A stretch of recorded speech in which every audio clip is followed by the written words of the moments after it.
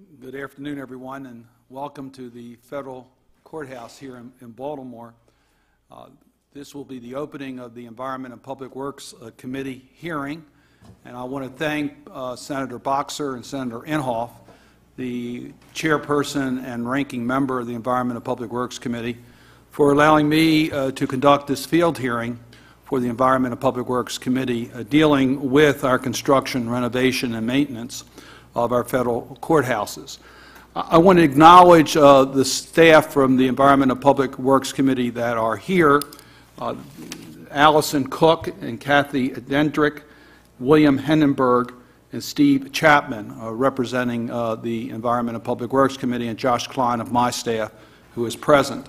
Uh, Today's hearing will be used by the Environment and Public Works Committee in our responsibility to oversight uh, the federal courthouse uh, construction uh, renovation and maintenance. I want to thank our witnesses for being here, uh, from the- the federal agencies as well as those from Baltimore, including our mayor, Stephanie Rawlings Blake. It's a pleasure to have uh, you- your honor your honor here, and thank you for uh, your participation uh, today.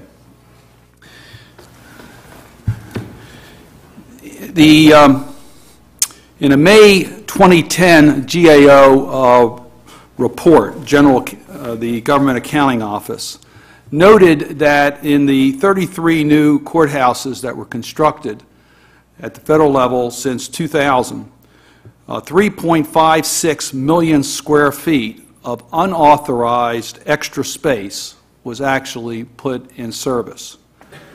These facilities um, were uh, both, uh, the report was both critical of the General Services Administration as well as the Administrative Office of the U.S. Courts in the manner in which this additional space was put into service. It was based, according to the GAO report, on faulty assumptions. The assumptions were, quite frankly, that all of the vacancies in the federal uh, judiciary would be, be filled and the space would be needed. Now, I can tell you, serving in the United States Senate, that's not necessarily realistic assumptions, uh, knowing that there are intentionally times where uh, uh, court uh, positions are held uh, un unfilled.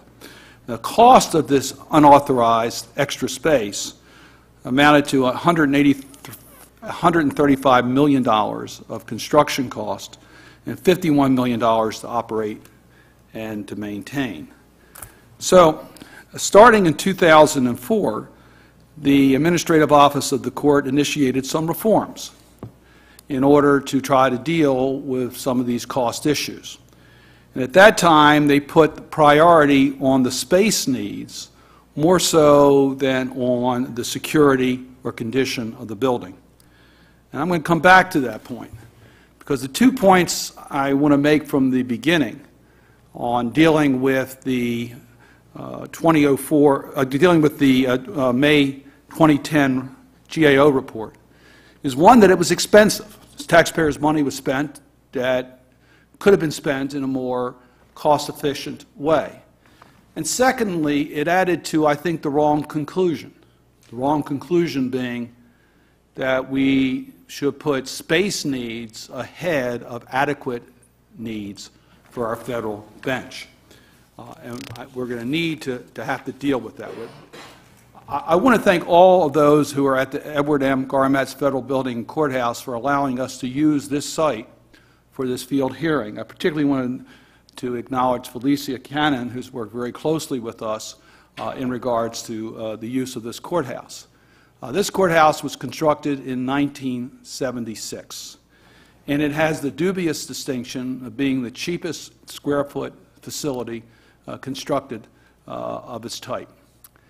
I say that without much pride because as you travel through this building, you'll see the deficiencies in this building. From day one, there have been legitimate criticisms as to the adequacy of the federal courthouse here in Baltimore. It has a poor relationship to the city itself. By that I mean is that when you design a building that's in an urban center, it should be part of the, of the city. Instead, this building was designed sort of as a, an island to itself and not incorporated well into the plans of Baltimore City. Secondly, uh, from day one, there was poor, poor, acoustics, poor lighting, an awkward courthouse layouts, electrical system failures, the location of the holding cells is not where it should be, the location of the galleries for- is not where it should be. It's an environmental nightmare when you take a look at its energy consumptions. And since uh, 1998, there have been 11 published reports of problems dealing with the HVAC, plumbing, and the electrical system. The safety of the building's design has also been called into question. It's similar to the federal building that was constructed in Oklahoma City that was the subject of so much uh, devastation as a result of an explosion. There is concern about blast concerns. If you get a blast, whether this building could in fact deal with those type of issues. The GSA report in 2003, and I'm going to quote from it, said that our first impression report that describes the appearance of the Baltimore Federal Courthouse as, quote, anonymous and unrelenting, with no identification of interior functions, not benefiting, befitting the dignity of a courthouse, all helped to elevate the Baltimore Courthouse to the number one spot on the Administrative Office of the Court's five-year courthouse plan for replacement. That uh, five-year plan, which was done in the early, uh, around 2006, uh, listed Baltimore for construction by 2008. And the reason Baltimore was listed number one is for these reasons. There were security issues as to whether the building was uh, designed in a way that would provide the safety, not just of the judges and the uh, staff, but the public who visit and use the federal courthouse. There was also a concern as to whether this, the, the, the rooms were organized in an efficient way for the purposes of a federal courthouse. But once Baltimore reached the, the top of the list, the rules changed. First, there was not enough money to start construction. So there was nothing being built during those years. And there was a moratorium on new construction. So Baltimore stayed number one for a few years, but there was no activity at all done.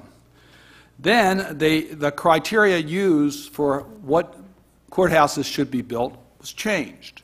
As I, made it, uh, as I noted earlier, uh, the, there was a change in focus from dealing with having adequate space from the point of view of safety and design to whether there was sufficient space and square footage. And when that was done, the Baltimore Courthouse uh, uh, lost its preferred position and went from number one to not being on the list at all for new construction. But Baltimore was in the worst possible position. During those years where it was felt that we were going to get a new courthouse here in Baltimore, the maintenance work was not done. The improvements were not done. Why put money into a building that was going to be replaced? So the conditions that existed here became even worse. And no money was spent to really keep the building up to where it should have been. So Baltimore lost its position to get a new courthouse, and Baltimore's courthouse became even in worse condition. It was clear that Baltimore, it's clear to me that Baltimore deserves a courthouse befitting the dignity of the federal judiciary. Now, we have, I don't know if, if, if Josh has been showing you the, the pictures behind me, maybe it'd be a good time to show some of these, some of these photographs that will show you the condition of some of the courtrooms here in the Baltimore courthouse. Uh, for those who are familiar with federal courthouses, these are not the type of rooms that I think most federal judges would consider to be adequate. We've also had significant water damage because of uh, problems with uh, pipe leakage here that has caused some of the rooms not to be able to be used. The most recent was just a few months ago, uh, which caused a major problem. It's my understanding now uh, that uh, the, there's a requirement to check all the lavatories before you leave to make sure they're set on the right setting or another flood, in fact, could occur. So there's a problem here. There's courthouse, courtrooms that can't be used because of their design failure there's heating and air conditioning issues, there's flooding issues, uh, and there is just the concern of safety in the way that this building was designed uh, and uh, the need to either upgrade it through blast protection improvements, which would be very expensive, uh, or to consider a new courthouse. Now, I, I think that safety issues should come first, not last. And I think dignified space should be a requirement for our federal bench. I believe we need a new courthouse here in Baltimore, and I have strongly stated that uh, in in every forum that I can. But we cannot continue to allow this courthouse to remain in its current condition. Uh, That needs to be addressed. And I hope our witnesses will be able to help us understand how we got to where we are today here in Baltimore, and more importantly, around the nation, and what we can do to make sure that the public has adequate courthouse space in order for the federal judiciary to be able to perform its, its critical function uh, for our, for our government.